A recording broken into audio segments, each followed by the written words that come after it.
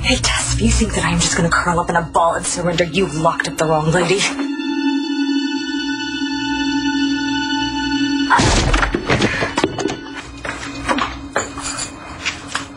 Oh, good to see her. What? Huh. We're halfway here. Any word from Natalie while I was gone?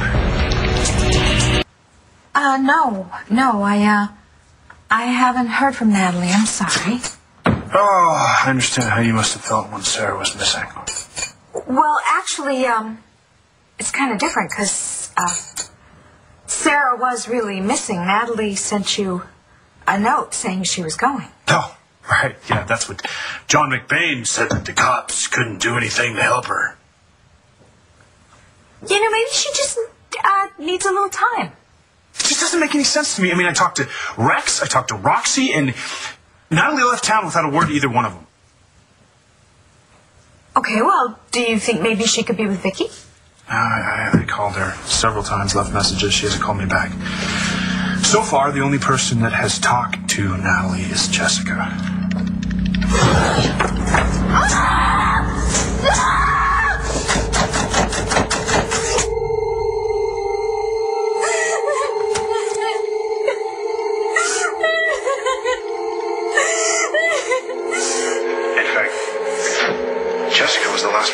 last person see Natalie.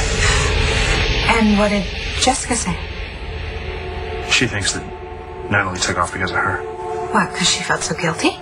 Well, yeah, I mean, Natalie did feel guilty about helping me cover up what I did to the family, we both felt guilty about what happened to Nash, but even if she was planning on dumping me yet, I just don't imagine her abandoning her sister, not now. So you don't think that letter is for real, do you?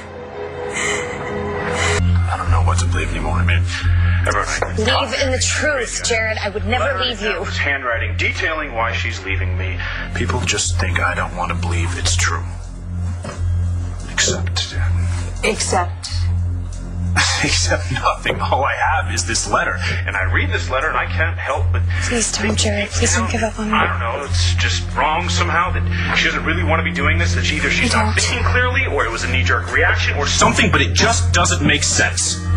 And everyone you talked to thought you were crazy? Yeah, they, they, everyone thinks I'm just fooling myself. Everyone except my father. He, he thinks I should give up on Natalie. Your father was right.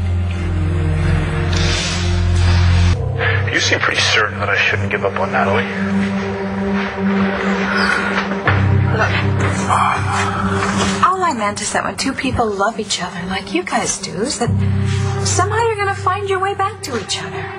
And I know this from personal experience. Then why aren't you still together?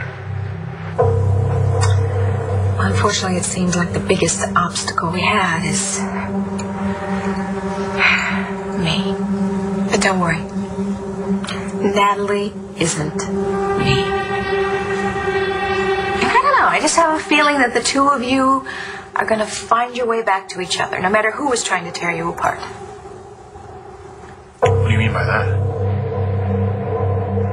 Who would want to keep Natalie and me apart? Look, I just meant that uh, you know, when two people are so much in love, there's there's always someone who tries to break you up. But you know, the trick is you have to stay strong because you can never let them win. I'm trying. Okay.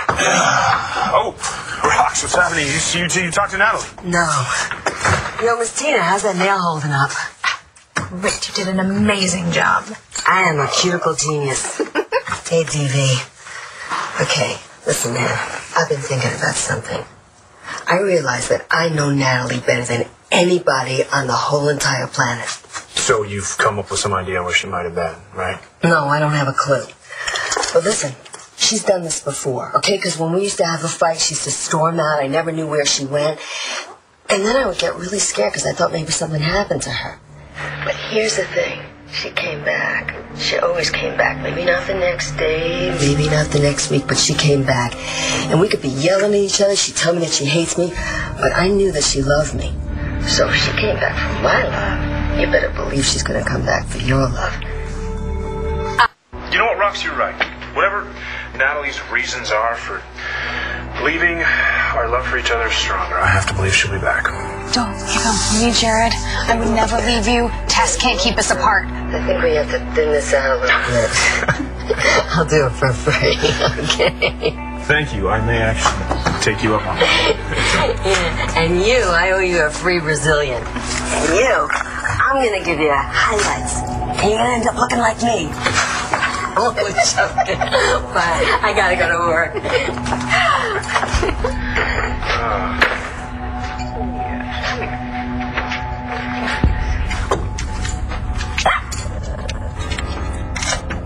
What's going on, boy?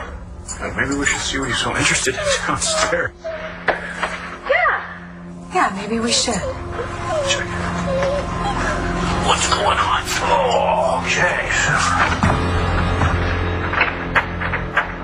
All right, well, sorry, pal. Whatever's got you so curious is gonna have to wait.